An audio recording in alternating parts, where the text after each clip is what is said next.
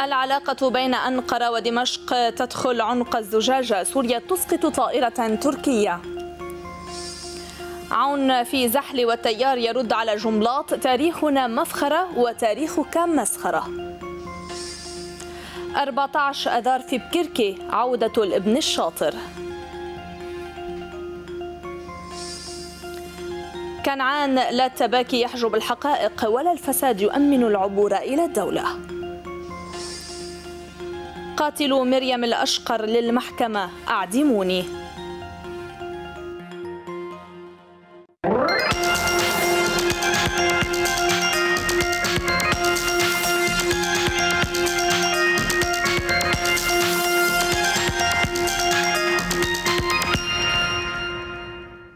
مساء الخير وأهلا بكم إلى هذه النشرة الإخبارية من الاو تي في التي تبث أيضا عبر إذاعة صوت المدى. كما يمكنكم متابعة هذه النشرة مباشرة عبر موقعنا الإلكتروني www.otv.com.lb واصل النائب وليد جنبلاط وعدد من مرافقيه ومنهم أكرم شهيب حملته على رئيس ووزراء ونواب تكتل التغيير والإصلاح والتيار الوطني الحر. مصدر في التيار الوطني الحر رد وعبر الأو تي في على ما قاله النائب شهيب من أنهم دخلوا إلى الحكومة لفرملة مخططات العماد عون فقال هذا صحيح لقد دخلوا لفرملة مخططات مكافحة الفساد المالي وكشف كيف نهبت أموال اللبنانيين عبر المجالس وفي مقدمها صندوق المهجرين. وأنه بالأمس صدر قرار ديوان المحاسبة وغدا دوركم آتٍ. وعن دخولهم إلى الحكومة لوقف ما أسماه شهيب بالانحراف بالاتجاه الواحد قال المصدر نحن مع الانحراف باتجاه واحد وهو اتجاه التغيير والإصلاح وليس مع اتجاه التنفيعات والزبائنية والرشاوى والسمسرة التي تفوح من رائحة النفط الليبي وعن أن الوزير جبران باسيل لم يفعل شيئا في الحكومة رد المصدر من فمكم أدينكم أفليس أنت أيها النائب شهيب من قال أنكم تفرملون كل مخططات العماد عون ووزرائه ونوابه؟ ولكن السؤال من أوصل اللبناني إلى هذا الدرك ومن أورثه الديون حتى ولد ولده؟ وعن رفض باسيل العمل مع الصناديق العربية تابع المصدر إن القانون هو الذي ينظم شؤون هذه الصناديق وهل نسي النائب الشايب أنه لو تقرر العمل مع الصناديق لتأمين الكهرباء لكان ذلك سيتم بعد سنوات بينما من خلال البواخر لو أخذ باقتراحات الوزير باسيل لكانت الفترة ستمتد لستة أشهر ولكانت المشكلة في طور الحل. وعما قاله النائب وليد جملاط من أن العماد عون هو سلطان رد المصدر. نعم إن العماد عون سلطان ولكن سلطان التغيير والإصلاح وأنت تخاف منه وتخشاه لأن ممارساتك مفضوحة وموثقة وظاهرة للعيان ولا سيما للمهجرين. وأضاف المصدر للأو تي في نريد أن نعترف للبنانيين بأن العماد عون هو سلطان بشفافيته ونظافة كفه أليس هذا أفضل من أن يكون ممن يتسكعون على أبواب البلاط؟ نعم العماد عون سلطان ولكنك أنت من غلمان السلطان وسأل المصدر جملات عن فواتير الكهرباء المخفضة لأغراض صناعية والتي كان يستفيد منها فيما كانت للاستعمال الخاص ومنها فواتير معمل سبلين التي بلغت مليونين ومئة وخمسين ألف دولار أليس أنت من قال أن لبنان محكوم بحيتان الأموال؟ وعن إصرار النائب جملات على وضع حل سياسي لإنفاق ال 11 مليار سأل المصدر ما الغاية من ذلك؟ أليست هي لإخفاء التجاوزات وعدم الخضوع لأي قانون أو محاسبة؟ وردا على النائب مروان حميدي شدد المصدر في التيار الوطني الحر على ضرورة تسمية النائب حميدي بمستر حميدي وأنه لو قدر للبنانيين لفرموه وأصدروا حكمهم فيه ولقنوه درسا لن ينساه وأنزلوا به قصاصا يستحقه من وقف إلى جانب الأعداء ضد وطنه. وويكيليكس شاهد وكذلك وقائع ومواقف عدوان تموز 2006 وانتهى المصدر إلى القول. إن ألاعيب جملات لم تعد تمر على اللبنانيين. هو يعرف أن تاريخنا مفخرة ونحن ندرك أن تاريخه مسخرة. في موازاة ذلك كشف النائب إبراهيم كنعان الكثير مما هو مستور في الملفات المالية بشكل موثق ومدقق عبر بيانات ووثائق غير قابلة للدحض فقال إن الحسابات المخفية من عشرين عاما لا يستطيع أن يغطيها السنيورة. وأن المحاسبة المالية غائبة بقرار من السنيورة. سائلا أين صرفت الهبات؟ مشددا على أن لا التباكي يحجب الحقائق ولا الفساد يؤمن العبور إلى الدولة. إلا أن البداية من عروس البقاع التي وصلها العماد عون في زيارة تستمر ثلاثة أيام.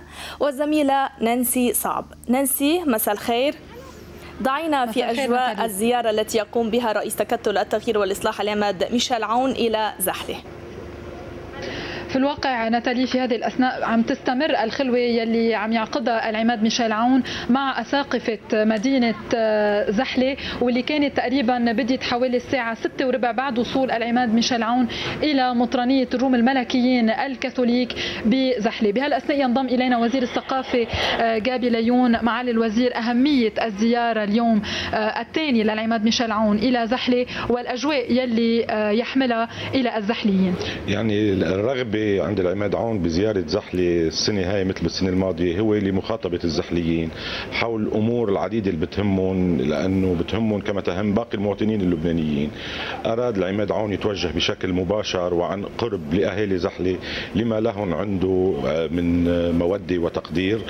وبتعرفوا أنه العماد عون ما عم بيأثر بزياراته للمناطق وزحلة مكانتها عزيزة كثير على قلبه. حب خلال بداية هذا الصيف أنه يتوجه للمواطنين بالهموم و المخاطر يلي عم بتواجه لبنان وعم بتواجه المنطقة بحديث قريب ومباشر. هذه الزيارة ليست زيارة سياسية وحزبية كما أعلن عنها وإنما تحمل رسالة وطنية. ما هي الرسالة الوطنية اللي عم يحملها اليوم العماد عون؟ ما فينا نقول منا منا زيارة سياسية. هي الخطاب العماد عون رح يكون بالأساس هي هو خطاب سياسي موجه إلى الزحليين. منا زيارة حزبية نعم. سيكون هناك لقاءات مع المحاسبين مع ناشطي التيار في قضاء زحلة أكيد ولكن الهدف منا هي مثل ما ذكرت مخاطبة مخاطبه جميع الزحليين وعن قرب لأنه المرحلة اللي عم نمر فيها هلأ في لبنان هي مرحلة مصيرية ودقيقة جدا. شكرا مع الوزير جابي ليون ناتالي اذا كما استمعنا يعني آه، العماد عون يحمل رسالة أساسية هي وطنية بامتياز خصوصا مع تأثر لبنان بكل ما يحدث حوله آه، بالمنطقة منطقة الشرق الأوسط والتداعيات يلي آه، عم بتكون على كل دول المنطقة ولا سيما لبنان. وبالتالي هذه الرسالة موجهة إلى أبناء زحلة عموما وليس إلى فريق واحد.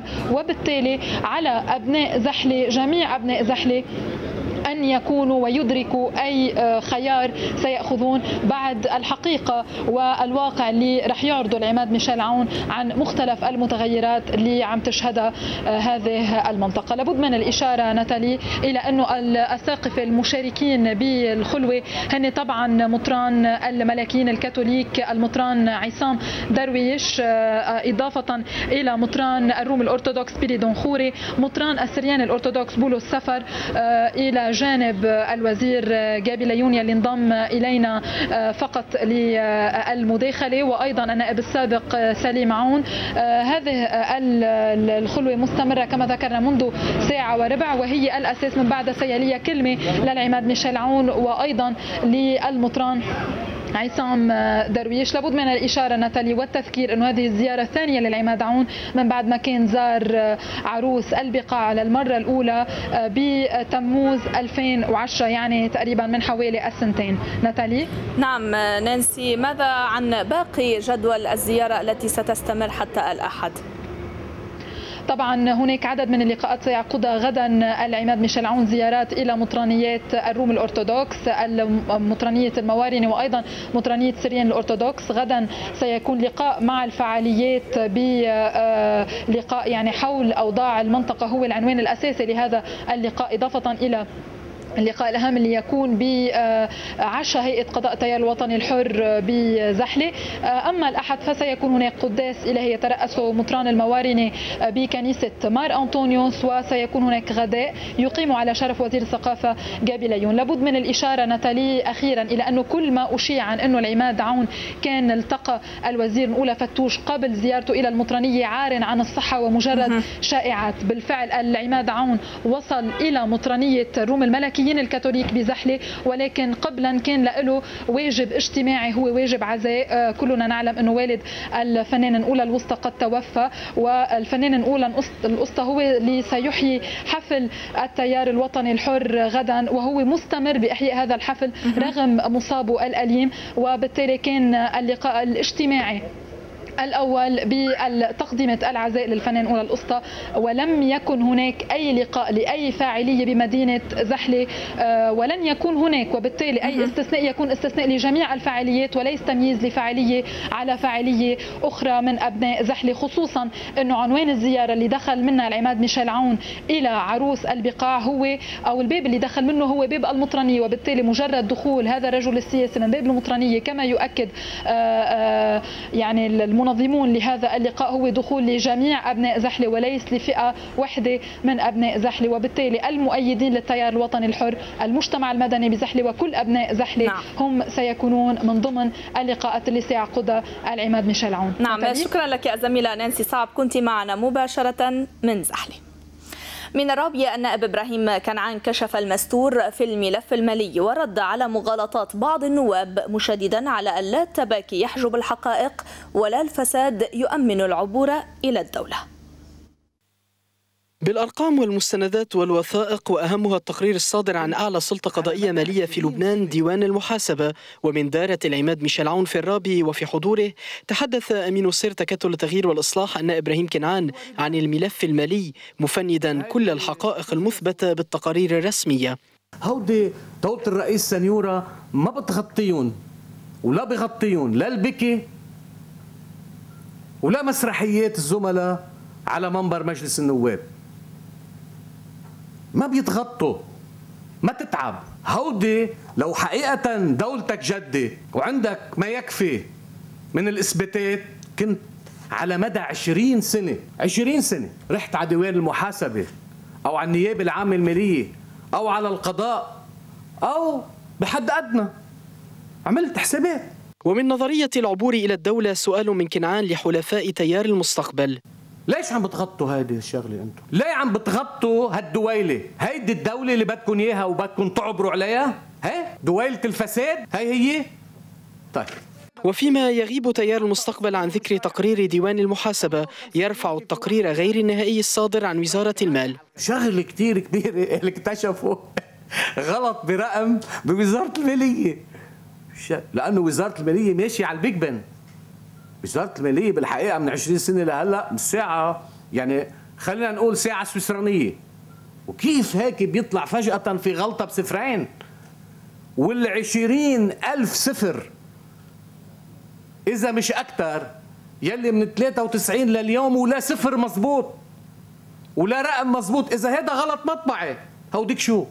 ومن الأوراق والمستندات الكثيرة التي رافقت مؤتمره الصحفي رفع كنعان الدستور اللبناني للرد على السائلين عن أسباب عدم إقرار الموازنة. لازم تعرفوا أنه ما في موازنة لأنه دولة مش قادرة تعرف شو بتنفق ولا قادرة تعرف شو عم بفتلها وما عندها حسابات آخر السنة. ما فيها تطلع موازنة مش لأنه أنا ما بدي. ومش لأنه كتلتنا ما بدها مش لأنه حدا عم بعطل لأنه دستورنا. دستورنا اللي حتى إشعار آخر مادة 87 بيقول إنه ما فيك تطلع موازنة بدون ما تصادق على الحسابات النهائية. وفي المحصلة رفع كنعان شعار المرحلة المقبلة. ينتبهوا اللبنانيين. نحن منا عم نحكي تقنيات وأرقام بس. ينتبهوا كتير منيح. وهذا التحدي اللي جاي وهي المعركة المقبلة. من مع الفساد ومع ضد الفساد؟ ويعطيكم العافية. أمين سير تكتل التغيير والإصلاح أكد لو أن جريمة فقدان أي حساب دقيق في لبنان حصلت في أي قبيلة في مجاهل إفريقيا لكان حوسب شيخ القبيلة. إلى بكركي عودة الابن الشاطر أي مسيحي 14 أذار إلا أن غيمة الصيف بينهما لم تتبدد بالكامل. حضروا جماعيا وصرحوا إفراديا. هكذا انتهى لقاء الساعة ونصف الساعة بين البطريرك الماروني مار بشارة بطرس الراعي ووفد من مسيحيي الرابع عشر من أذار الذين قاطعوا بكركي لفترة طويلة لم تخلو من الحملات التصعيدية على الصرح وسيده. رئيس حزب الكتائب أمين الجميل كان أول المغادرين قبل انتهاء الاجتماع ليؤكد أن التمهيد للزيارة أتى عبر المطران يوسف بشارة مشيرا إلى ضرورة إسقاط الحكومة ومتطرقا إلى الوضع في سوريا. ما بدنا نحكي بما قضية تغيير كان في مصارحة في البعض منا طرح هواجس معينة وغبطة بطريرك أجاب عليها ونحن كما ذكرت هذه منه آخر اجتماع هذا أول اجتماع وسيتبعه نتأمل لقاءات وإن كانت بعيدة عن الأضواء. وفيما كانت القوات اللبنانية ورئيسها أول المهاجمين للراعي تفاجأت النائب استريدا جعجع برحابة صدر البطريرك على حد قولها مؤكدة أن المجتمعين بصدد كتابة مذكرة لتنظيم أفكارهم بعيدا عن الإعلام لتقديمها لغبطته. نحن تمنينا عليه بهالظرف السياسي الدقيق اللي عم تقطع فيه منطقة الشرق الأوسط ولبنان بالتحديد. هالموقع يبقى فوق كل الصراعات والخلافات. نحن مش طالبين من غبطة البطريرك أو بطرك الموارنة يكون صافف مع زيد وعمر. النائب بطرس حرب والنائبان السابقان فارس سعيد ونيلة معوض توالوا تباعا على الكلام مشددين على أن بكركي هي المرجع الوطني والديني لكل الموارنة خصوصا في ظل التطورات الأخيرة في المنطقة. لقاء بكركي كان اعترض عليه بعض الأعضاء المسيحيين في الأمانة العامة معتبرين أن زيارة الوفد لم تتكرر من خلال الأطر التنظيمية لقوى 14 أذار. قبل متابعة المحليات تطور إقليمي لافت تمثل بسقوط طائرة عسكرية تركية بالقرب من الحدود السورية. ورئيس الوزراء التركي يعلن أن سوريا أسقطتها خطأ واعتذرت. غداة فرار طيار سوري مع طائرته إلى الأردن. أعلنت هيئة أركان الجيش التركي أنها فقدت الاتصال عبر الرادار بإحدى طائراتها فوق شرق المتوسط في منطقة قريبة من سوريا. وطائرة من نوع F4 أقلعت من ملاطيا شرق تركيا وفقد أثرها في البحر جنوب غرب محافظة هاتاي الجنوبية قرب سوريا وعلى متنها طياران. رئيس الوزراء التركي رجب طيب أردوغان دعا على الأثر إلى اجتماع أزمة في مكتبه في أنقرة مع قائد أركان الجيش ووزراء الداخلية والدفاع والخارجية أحمد داوود أوغلو ورئيس المخابرات.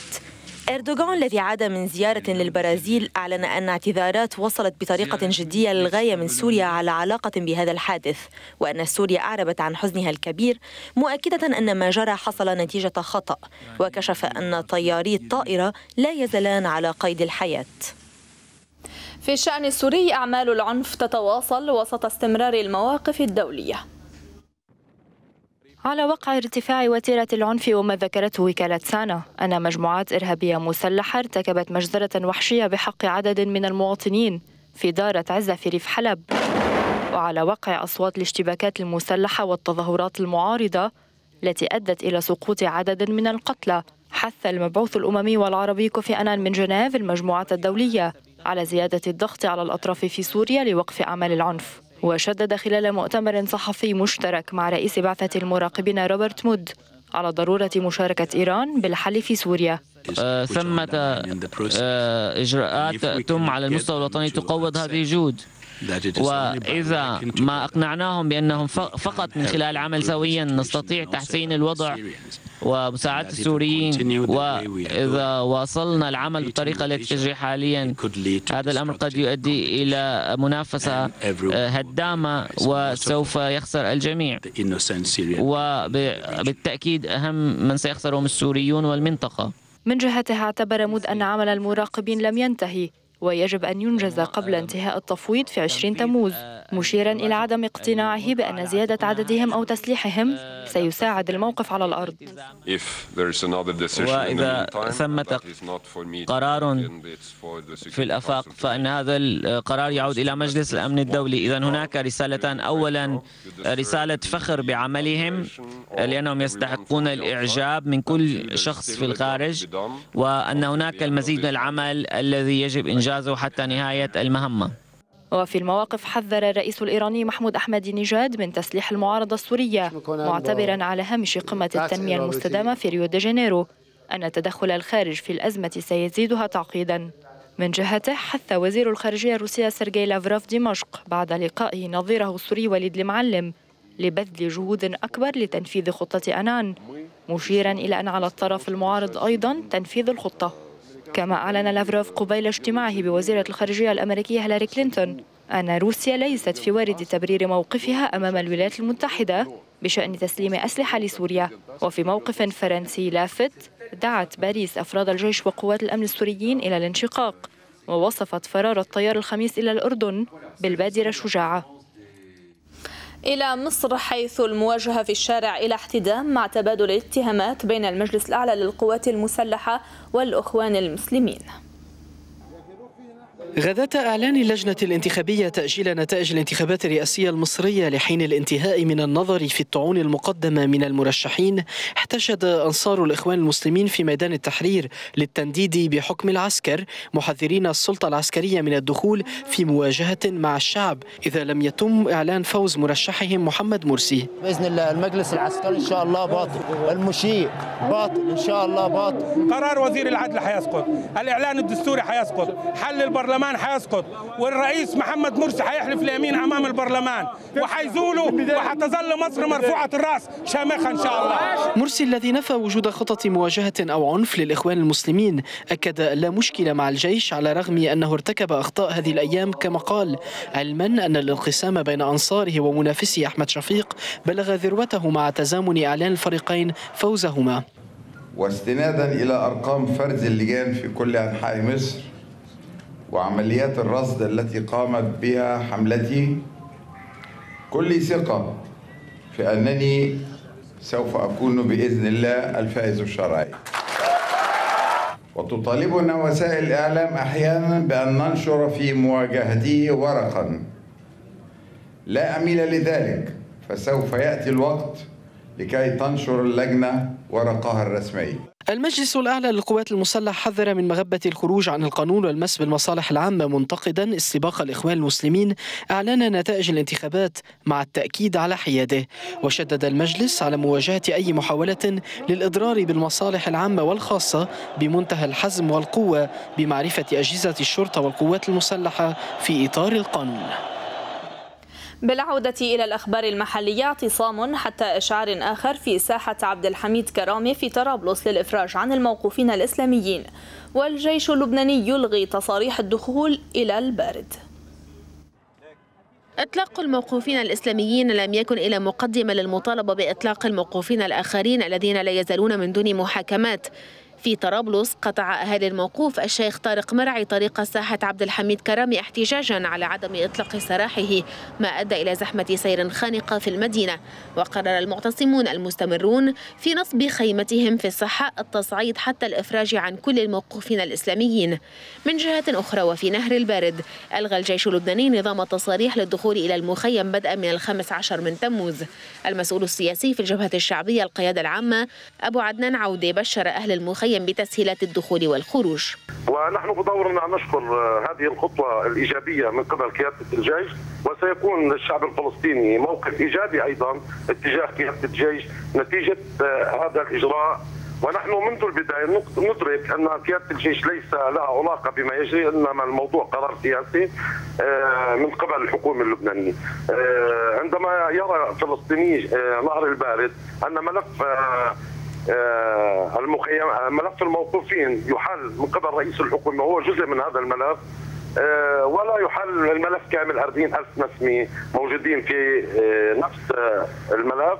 فهناك عملية فعلا استفزاز لمشاعر أهلنا وتحت عنوان طرد السفير السوري من لبنان نظم حزب التحرير اعتصاما في الجامع المنصوري الكبير ليشكل هذا التحرك اعلانا عن حملة ستقام اسبوعيا وصولا إلى طرد السفير السوري من لبنان كما قال. رئيس الجمهورية ميشيل سليمان اطلع من قائد الجيش العماد جان قهوجي على التدابير التي اتخذها الجيش حيال التوترات الأخيرة في مخيمي نهر البارد وعين الحلوة لضبط الوضع والحقول دون قيام المتضررين بأعمال مخلة بالأمن وبالعلاقة القائمة بين الفلسطينيين والجيش. واطلع رئيس الجمهورية من سفير لبنان لدى سوريا ميشيل خوري على الأوضاع الراهنة هناك. دبلوماسيا زيارة وزارية أوروبية ثلاثية إلى لبنان وتشديد على استقلال لبنان. جولة بعثة الاتحاد الأوروبي التي ضمت وزراء خارجية بلغاريا وبولندا والسويد بدأت بزيارة القصر الجمهوري في بعبدة حيث حضرت سفيرة الاتحاد لدى لبنان أنجلينا إيخورست التي أعربت عن تقديرها لإعادة إطلاق طاولة الحوار. من جهته أكد الرئيس سليمان أن لبنان يؤمن بالديمقراطية ومحاربة الإرهاب وأن الجيش اللبناني من خلال وحدته يحفظ وحدة الوطن وسلمه الأهلي ويعمل مع اليونيفيل في الجنوب لتنفيذ القرار 1701 كما يقوم بمهمة مهمات على مساحة الوطن لضبط الحدود والأوضاع في الداخل. وأوضح سليمان أن استقبال نازحين من سوريا إلى لبنان هو قرار إنساني على أن يعود هؤلاء إلى أرزاقهم فور استتباب الأمور. إلى عينتين توجه الوفد أيضا حيث التقى رئيس مجلس النواب نبيه بر الذي عبر عن قلقه ومخاوفه من مسار الأزمة السورية في غياب الحوار الكفيل في وقف العنف في سوريا. الوزراء الثلاثة شاركوا أيضا في اجتماع لجنة الشؤون الخارجية والمغتربين برئاسة النائب عبد اللطيف الزين الذي قال أن النقاش تناول تدفق اللاجئين السوريين إلى لبنان والموقف اللبناني بالنائب النفس عن الأزمة السورية.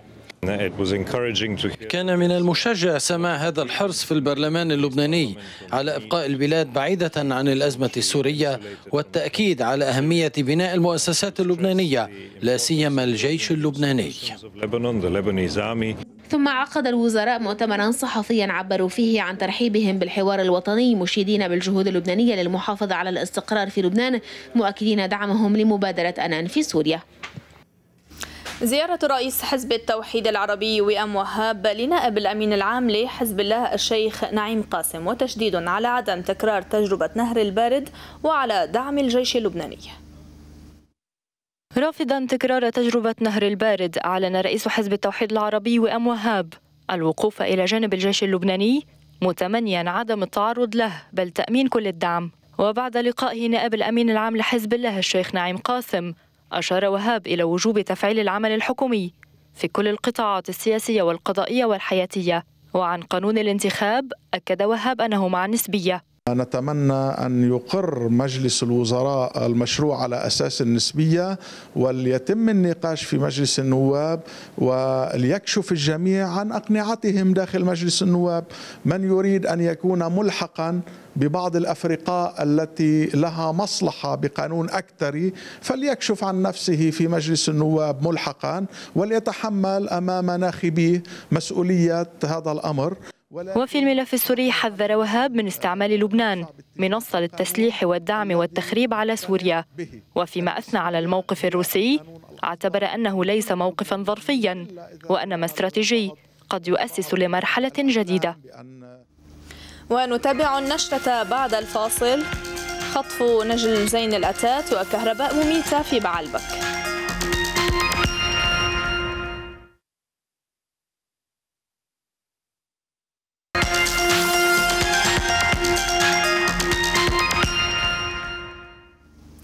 أهلا بكم من جديد. نعود مرة جديدة إلى زحله ومع انتهاء الخلوه التي جرت في مطرانية الفرزل وزحله لطائفة الروم الملكيين الكاثوليك.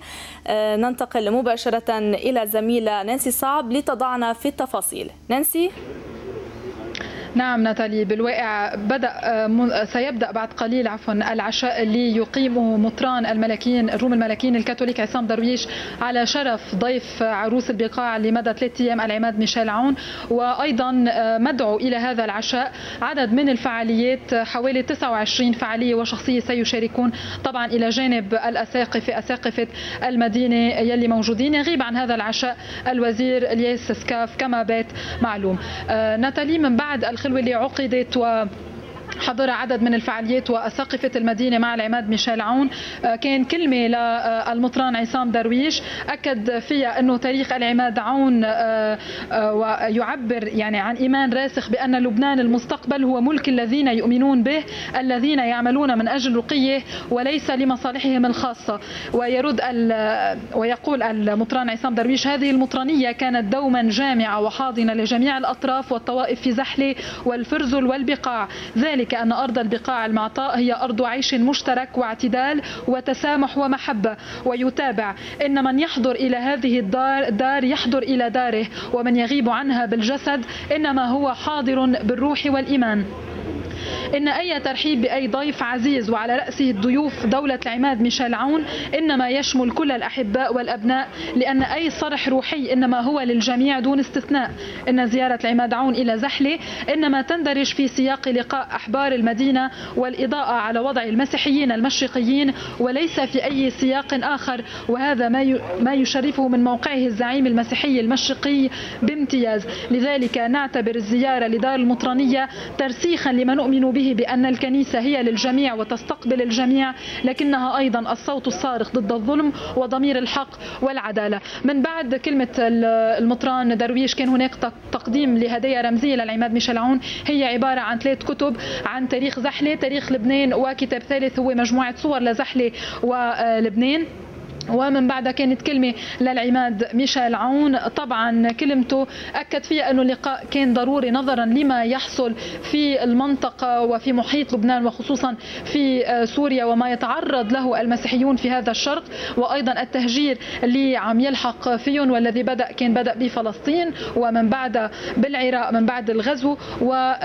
ويتخوف يعني مما يحصل نعم. الآن في سوريا. وربما ما الذي يعني لا أحد يعلم ما الذي يمكن أن يحصل بعدها بلبنان ويقول العماد عون أنه هو الخوف من من البديل في سوريا لأن البديل المطروح لا يؤمن بالديمقراطية. وقال أيضا العماد عون أنه لا يمكن أن نؤمن لمن لا يؤمن بحرية المعتقد وحرية الاختلاف. ومن هذا الموضوع الإقليمي المهم انتقل العماد عون داعيا اللبنانيين إلى الوعي لأهمية الوحدة الوحدة اللبنانيين على اختلاف المعتقدات خصوصا أنه أهمية الاختلاف هو أن يحترم الإنسان الآخر بأي معتقد كان. ومن هذا الاحترام المتبادل تكون الوحدة ليس الوحدة الغنمية وإنما الوحدة الوطنية اللبنانية. نعم. نستمع نتالي لأبرز ما جاء في كلمات العماد ميشيل عون بعد الخلوة.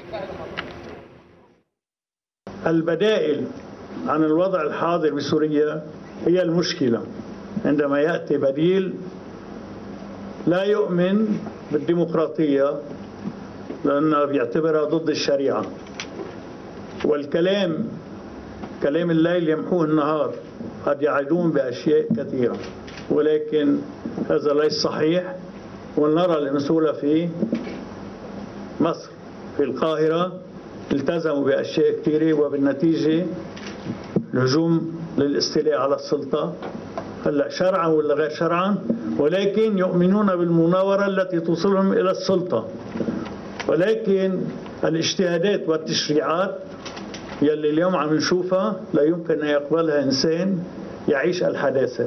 حتى اللي عاشوا في عصر الجاهلية وما قبل ما بيقبلوا اللي عم بيصير بما يتعلق بالمرأة اليوم في مصر.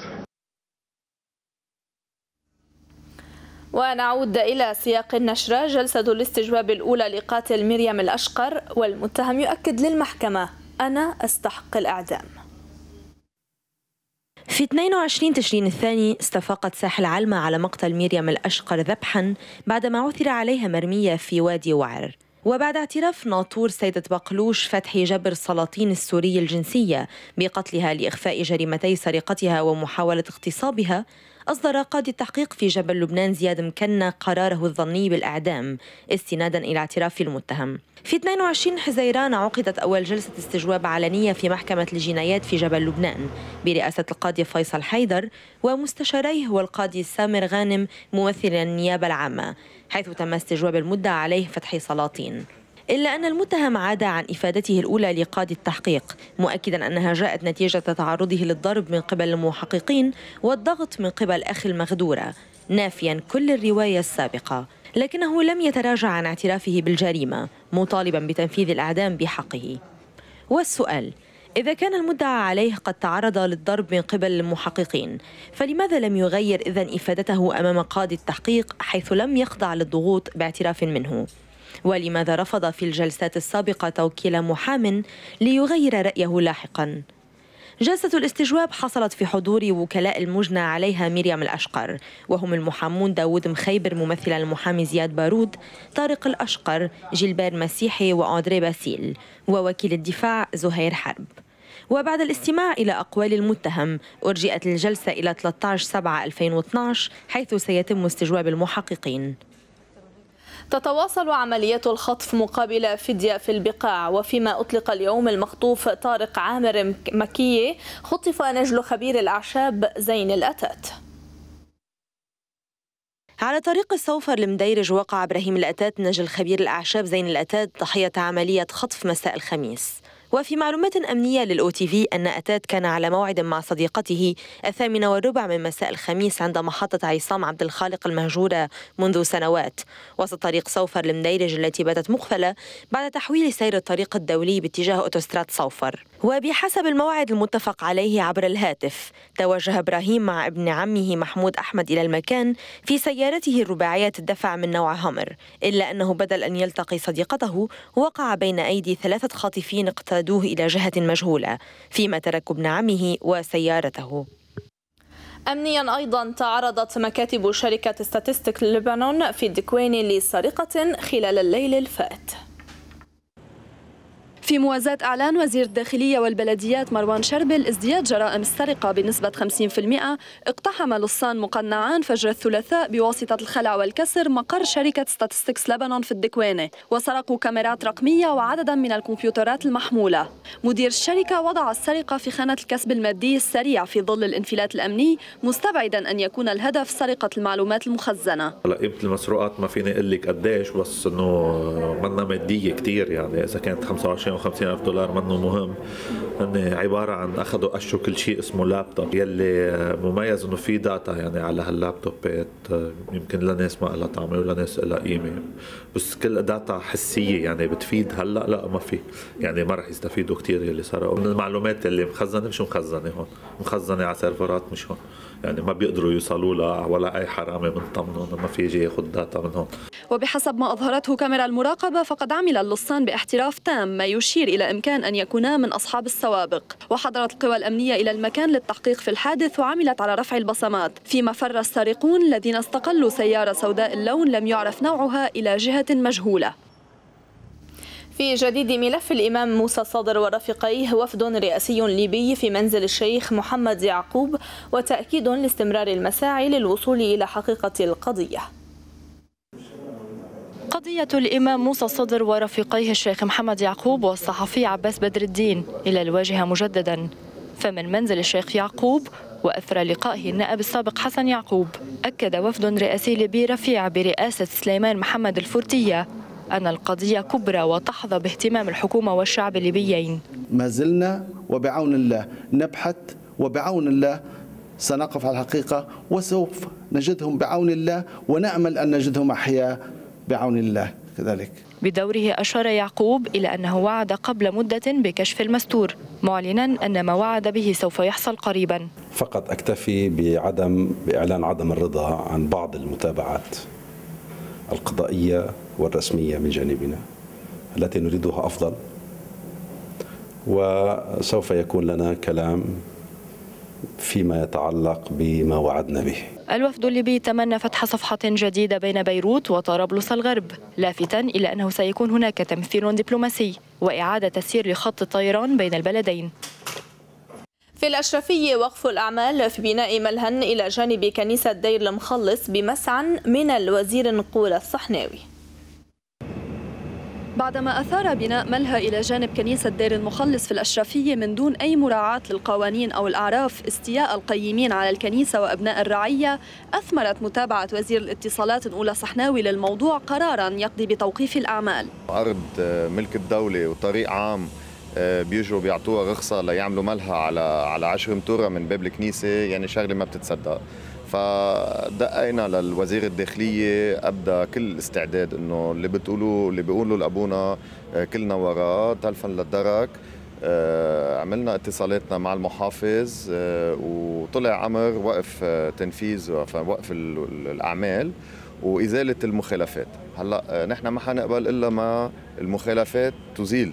ويشير القرار إلى ضرورة إزالة مخالفة البناء ضمن مهلة 15 يوما وإلا تقوم الإدارة بالتنفيذ على نفقة ومسؤولية المالك. أنا بالفعل تواصلت مع كل النواب المنطقة ولكن أكثر شيء والوحيد اللي تجاوب معنا وقف معنا على الأرض هو مع الوزير الاولى صحناوي وأيضا الوزير الداخلية مروان شربل كمان وقف وقفه آه، بالفعل وقفه يشهد له. فنحن بنتشكرهم ونتأمل إنه هالموضوع يوصل لخواتم السعيده وترجع المنطقة هالطريق تنفتح. ويبقى السؤال كيف استحوذ بالأصل أصحاب العقار على رخصة للبناء وإلى متى تستمر المخالفات بعيدا من أعين القوى الأمنية؟ محولات الكهرباء في بعلبك تتحول إلى غرف الموت وترعب الأهالي. غرف مفتوحة للعامة بعضها بلا أبواب وأخرى أبوابها مشرع على مصراعيها. يدخلها الكبير والصغير من دون حسيب أو رقيب. هذه هي حال غرف محولات الكهرباء مدينة بعلبك منذ سنوات بعيدة. تزرع الرعب والخوف بين الأهالي. يعني أنا صرت مرع بعدة مناطق. بلاقي هالترانسات مفتحة. بلاقي هالترانسات ما بتشبه الترانسات ولا بتشبه الصيانة العامة السلامة العامة إسماعيل زعيتر شاب في مقتبل العمر كان أحد ضحايا هذه الغرف. فات على أوضة الكهرباء. هاي حد السكنة إيه، وفات لهونيك هن مفتحين على الباب أبو فادي أب عانى الكثير في معالجة ابنه من جراء تعرضه لصعق كهربائي. عندما دخل إلى أحد هذه الغرف لاستعادة كرته التي كان يلعب بها. سحبته الكهرباء شقفته شقف شقف. وبعده لحد هلأ عم يعاني الصبي. راجعنا قال يا عمي نحن مسكرينها بس الولاد عم يخلعوها. قلنا لك يا عمي trans كهرباء ما بنحط على الأرض. بعض غرف المحولات يحتوي على توتر عال قدره 15 ألف فولت والأخطر أن هذه الغرف تقع داخل الأحياء والأماكن العامة. يعني فيها حتى حقل مغناطيسي بتجذب الإيد إذا قربت عليها ل 20 30 سم حسب قوة الكهرباء. يعني إذا فوت خشبة الواحد على 15000 فولت بيقتل بيقتل ما في لعب بفحم. خمسون هو العدد التقريبي لمحولات مدينة بعلبك أنشئت أساسا لتدخل النور والحياة إلى منازل المواطنين. لكن السؤال إلى متى ستبقى أبوابها مفتوحة على الموت؟ بعد الفاصل الربيع العربي في المركز الكاثوليكي للإعلام.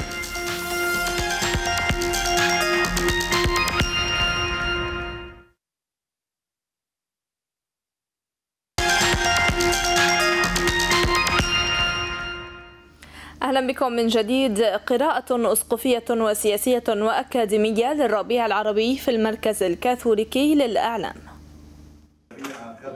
الربيع العربي والتحولات في الشرق الأوسط عنوان ندوة استضافها المركز الكاثوليكي للإعلام. يحق لنا أن نتساءل عن حقيقة هذا الربيع الذي لا يمكن لأحد أن يرفض لا أزاهيره ولا بواكيره من الثمار وعن حظوظ هذا الربيع في الزمن الحاضر وفي وسط أقطار التطرف الذي قد يسرق له وعوده ومواعيده وعن الطرق التي يجب أن يسلكها هذا الربيع ليصبح ربيعا حقا وربيعا طيب الحلول. ومن النظرة الأسقفية إلى القراءة السياسية والأكاديمية. أن النظام الإقليمي العربي في مخاض عسير. إنها حقبة مفصلية توازي بأهميتها التحولات الكبرى التي شهدها العالم العربي منذ انهيار السلطنة العثمانية ومنها مرحلة نشوء الدولة في مطلع العشرينات ومرحلة الاستقلال فيما بعد وبعدها مرحلة قيام الدولة السلطوية. وفي ظل التطورات الحاصلة مخاوف مما بعد شرارة هذا الربيع. إن المسيحيين المشرقيين وهم يهللون الآن لأصوات الحرية تصدح في ربوع العالم العربي والإسلامي يحز في قلوبهم أن يستهدفهم العنف الواعي.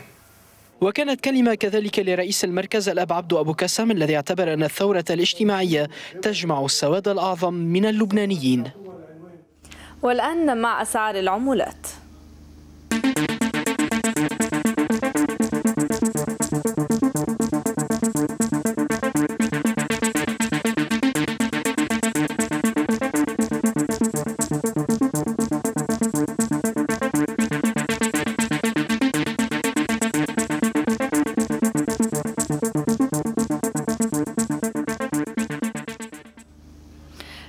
التفرقات المحلية ولمناسبة عيد الموسيقى نظم المركز الثقافي الفرنسي بالتعاون مع عدد من الجمعيات المحلية احتفالا في ساحة مطرانية الروم الملكيين الكاثوليك في بعلبك.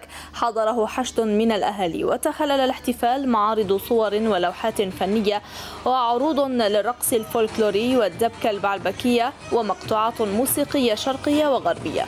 وقد بادر الشبان إلى إطلاق حملة لنجعل من الإطارات أحواضا للورود وألوانا تزين البيئة ولا تسيء إليها.